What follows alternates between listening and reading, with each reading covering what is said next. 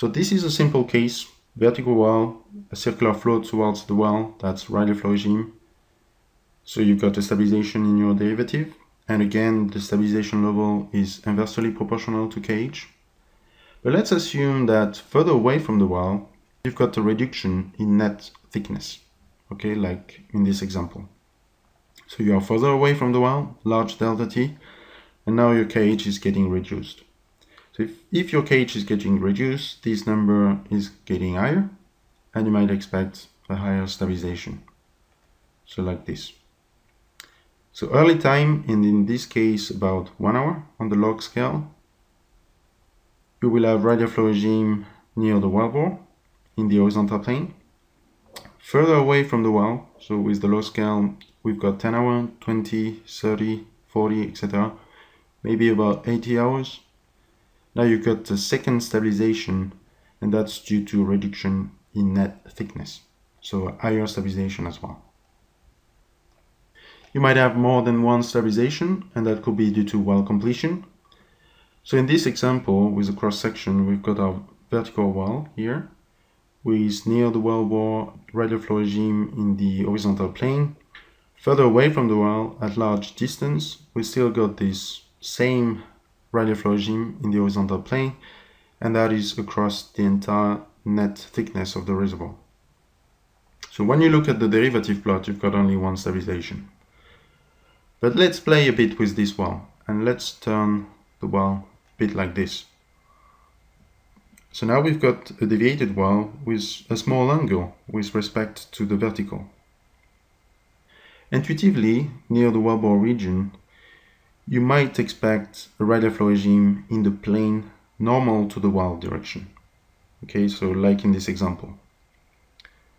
Further away from the wall, this system acts as a sink point, and at large distance, you will still see the radial flow regime in the horizontal plane and across the net thickness. Intuitively, you can see that um, these radial flow regimes near wellbore and at large distance are not too different with a small angle. So you will only see one stabilization on your derivative. But if the angle starts to increase now, and in general for large angle more than 80 degrees, now you will still see near wellbore the radial flow regime in the plane normal to the well direction. Away from the well, this is a sink point, so you still have radial flow regime in the horizontal plane across the net thickness. But now these two radial flow regimes are distinct, and you should expect to see two stabilization now. If the well is horizontal, now you will see first stabilization near the wellbore, indicative of radial flow regime in the vertical plane, and further away at large distance or large delta t, you will still see horizontal radial flow regime. So this is the horizontal radial flow regime at large distance. So now you see two distinct flow regimes, two distinct stabilization on your derivative, as I've shown here in the red plot. So first stabilization in this particular example at one hour, and that's due to your vertical radial flow regime. So that's in the plane normal to the well direction and the second stabilization further away from the wall, large delta t, and that's due to the horizontal radial flow regime across the entire net thickness. So in pink, this is our vertical wall, and in red, we've got our horizontal wall now, with two radial regime. So by having an horizontal wall, you change your flow behavior around the near wall wellbore. You create a different radial regime.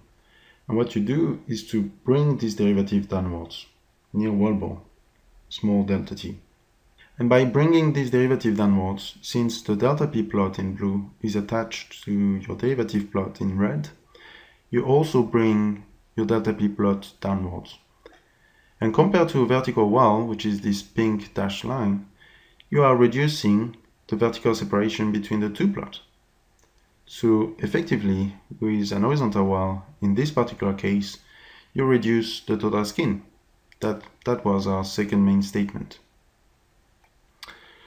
Right, so we saw two quick examples, a reduction in net thickness and an horizontal wall. And this is the two plots that we saw. Okay, If you look at them, they are quite the same. You've got wellbore storage, and a hump due to the skin, a short stabilization near wellbore at 1 hour, and then a second stabilization further away from the well at large delta t. And this is to illustrate non-uniqueness. You are measuring pressure and the rate. You got access to this plot and what you try to discover is your well and reservoir system. And in this case, you can realize that you need to take into account other information before analyzing the well. And obviously you need to consider your well geometry, your well deviation, and as well your geology and seismic. And that is to try to help you to reduce this non-uniqueness. Non-uniqueness is also going to come from the type of interpretation model that you're going to use and the selection of your radial regime in the horizontal plane. In this case of uh, horizontal well, I pick my stabilization here. I'm assuming that this short stabilization at early time is due to the vertical radial flow regime and this stabilization is due to the horizontal radial regime.